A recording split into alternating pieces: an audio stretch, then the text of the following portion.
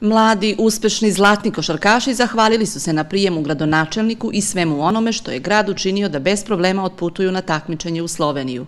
Kažu da je za uspeh zaslužen čitav tim i da su se svi maksimalno trudili. Bio mi je problem da pogodim te penale, ali sam se potrudio da uradim najbolje za nas i trudit ćemo se da osvojimo još pehara jer nam je to velika želja. I pomoću sam da podignem pehar i cijelo tim je zaslužen za prvo mjesto. I igrači i stručni tim selekcije još uvek sređuju utiske sa takmičenja i dočeka koji im je priređen u rodnom gradu. Izuzetno zadovoljan, trener podsjeća da su zlatni momci u finalnoj utakmici od 24 slobodna bacanja šutirali 18, a da su posljednjih 19 sekundi utakmice pogodili 5 od 6 slobodnih bacanja.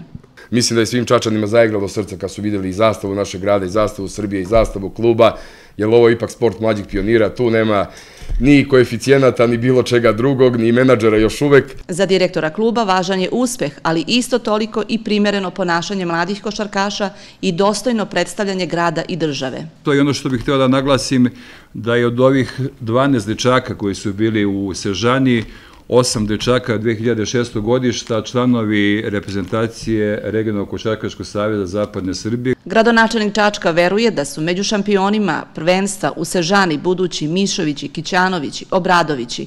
Na prvom mestu je škola, ali i sport, rekao je gradonačelnik.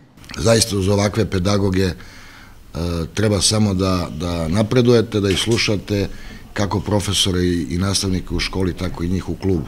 Direktor Košarkaškog kluba Mladost poklonio je gradonačelniku Majicu i medalju koju je on lično dobio na jednom od njegovih brojnih uspješnih nastupa tokom dugogodišnje košarkaške karijere.